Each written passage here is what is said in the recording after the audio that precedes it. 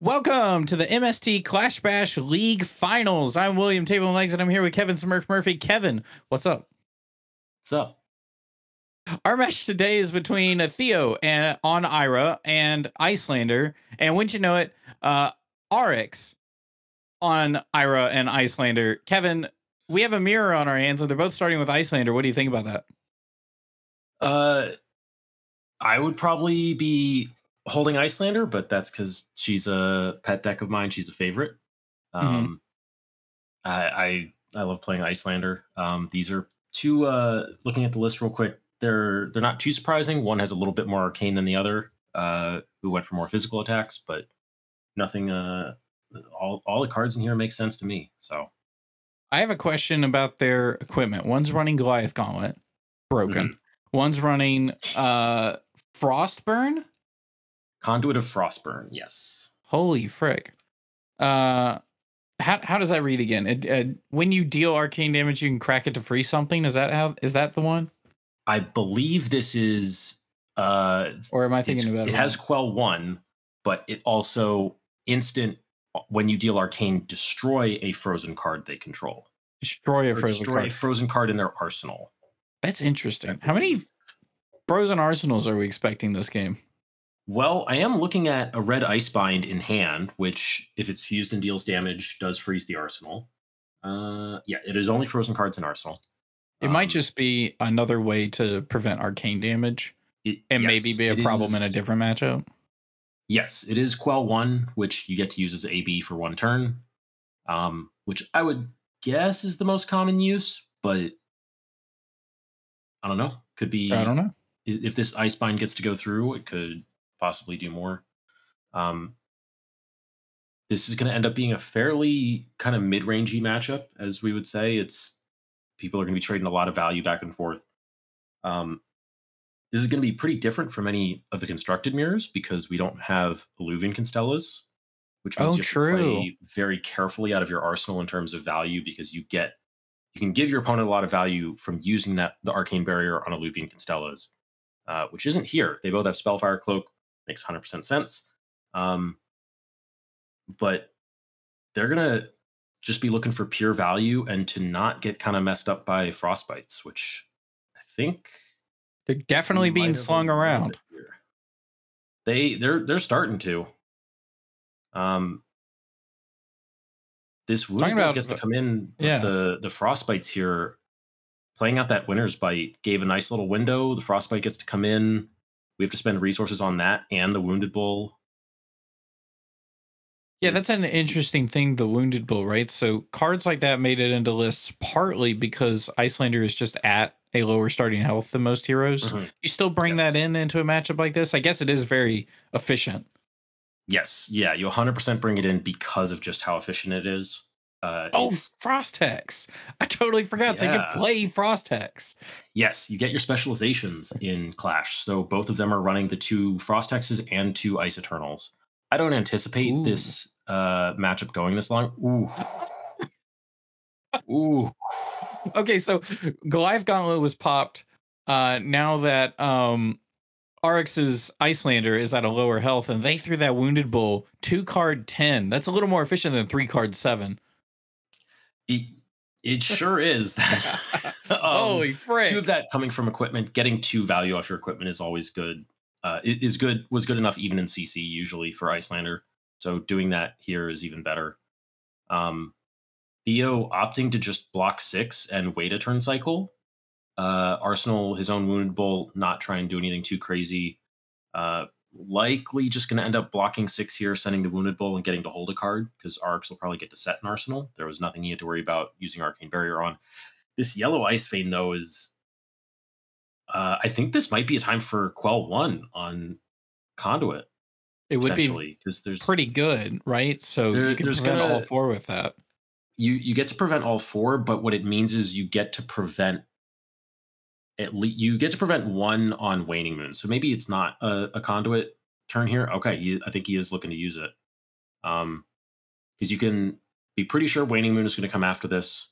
Uh, so we're going to AB three, pitch the blue, we'll quell one, and we'll get to float one. Ooh, if he's going to keep the ice vein, Oh, that's really interesting. interesting. Okay, okay. I guess I wouldn't have been surprised if he kept the Ice Vein here and tried to arsenal it and wait another turn cycle uh, to try and get a little bit more tempo. He's a touch behind here. Um, uh, Cold Snap gets pitched, so we're going to set an arsenal and we're going to quell one and we're going to take one. Conduit's going to go and we're back to AB3. Now you get the wounded bull at full Yes. eight value. Yep. And then we're going to set a Cold Snap. We're very happy to set Cold Snap all the time. Um, Cold snap's so good. it's like a zero for So four good. blue. oh, it's so good. It's wild. It's the it's a net zero for four blue with go again. I it's and if it does So manage to freeze an arsenal, it's super good. You probably don't get to freeze an arsenal with it, but it's even if you don't, it's such an efficient card. Um, with one coming from the frostbite, three coming from waning moon, and the blue you pitch to it just replacing itself with a draw card. So it's it was so one of my favorite does cards.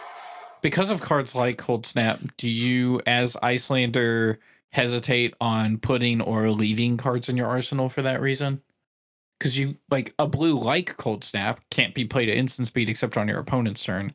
So if it's your turn, you have it in your arsenal for whatever reason.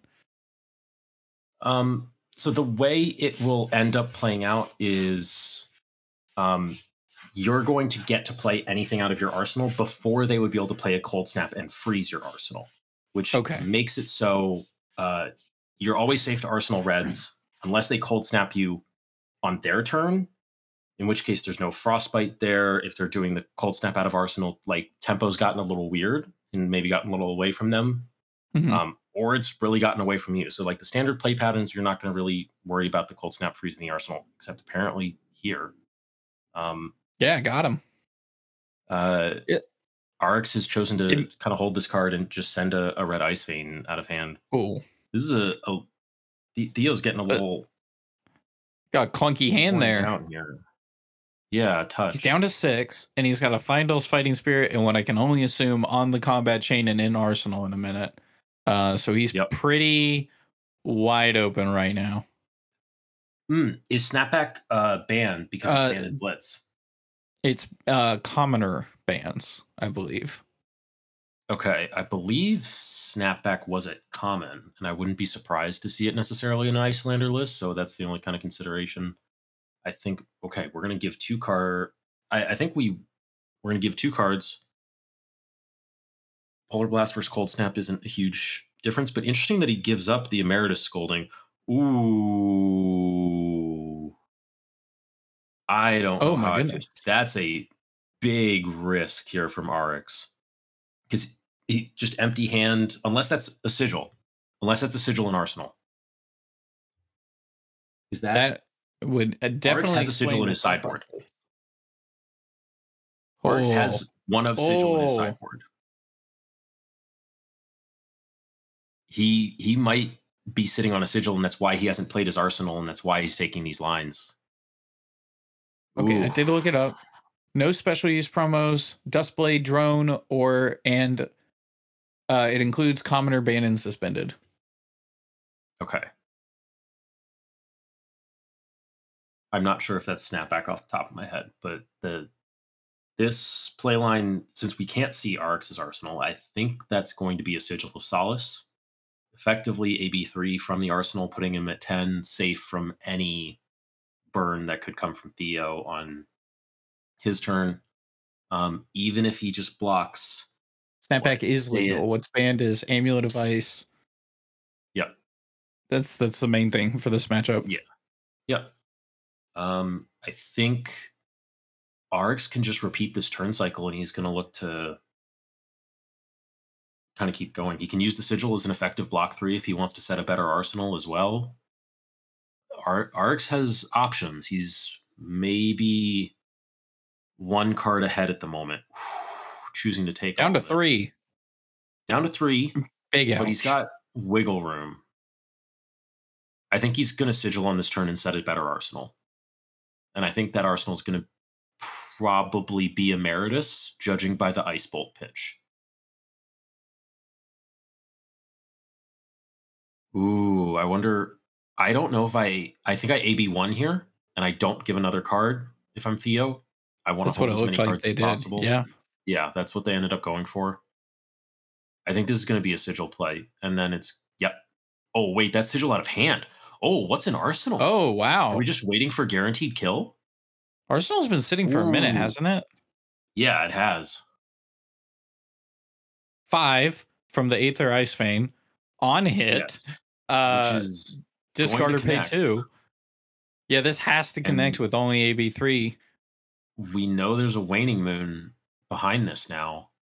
AB3 with a blue and then discard a red to the on hit is That's rough. The best if you're on a double red hand, which I'm thinking There's three, Yeah.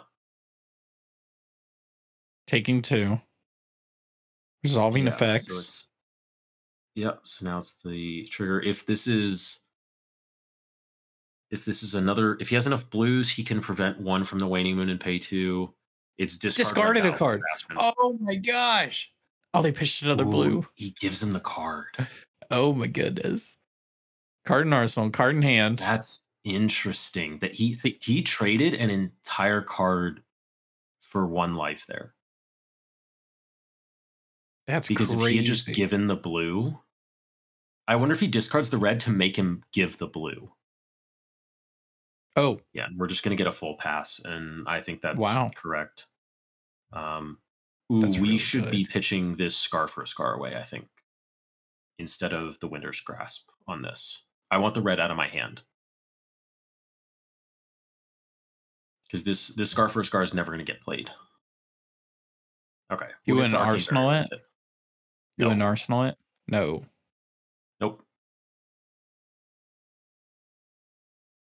Honestly, our best target right now for an arsenal is Ice Eternal. I guess he ha- could have. He's got the opportunity to pitch it now. Yeah, he he should be pitching it now. Yep. Yeah. There it goes. The opponent can waning moon. You still got one more. They already did, I believe. Yeah, they're doing it Oh, now. Wait, what is? What? Oh, okay. They both waning mooned. Yeah. So we're going back No. to Arx's turn, and they got a card in hand, no cards in arsenal. Iyslanders put an Ice Eternal in their arsenal. Are we coming to the end of the game right here? This should be the last turn as long as there's, I'm going to guess, three blues and one of them is ice. Uh, and we can make three frostbites and send waning moon, and that should just be six burn on maximum three health. Ooh, that's that's low. It's That might be a little short ideal. on resources. So, but can, what can? But Arx can't do anything right now, right? arcs can't do anything. This is this is a Unless it's literally a sigil or a scar for a scar in hand. Okay, sigil is the same as having a blue for three AB. X equals two. They should have sigiled right Okay. there. They already got the frostbites. They don't have a sigil So in hand. yeah, it's not sigil, and they just take the they just take the two. Oh, it was a- just a red in the hand. Yep. Oh no! Theo wins. Theo wins. Uh, that wraps Game up one. game one. Game one wins game one. Yes, Kevin. Any parting thoughts on this ice mirror we just witnessed? Uh, that's that was a, a pretty good example of how Iyslander mirrors even went in like CC, where it's just like one like little slip where you don't have a red uh burn spell or red attack action. Um, scars also being potentially a touch awkward in this matchup. Um, sigil still being an interesting card. Uh, th- this is a, a matchup that I really I really like the having the the Frost Hexes and the ice eternals in just as because they're blues too is very standard. Um, so this is this is a good little example of an Iyslander mirror. The late game was very interesting compared to the early game, right? So, like in the early game, we saw Yeah. Theo fumble with his um wounded bull. It only came in for seven, and it took him three cards. And then Arx came back around for ten with just two cards, and it yes, it felt like the advantage was building on Arx's side, but then at one point it switched. yes. I I wouldn't say that Theo fumbled with the wounded bull. It was playing the winter's bite Ah. first that did it. Yes. um because that wounded bull is always going to come in for seven pretty much no matter Yeah. what um but getting that frostbite, eating an entire card was That's right. very rough. Yep. Yep. All So- right. Well, we we were William and Kevin from Pit Against the Table Pits live Flesh and Blood call-in show. Make sure to tune into round two of the Clash Bash finals right here. Bye. Game two. Game two.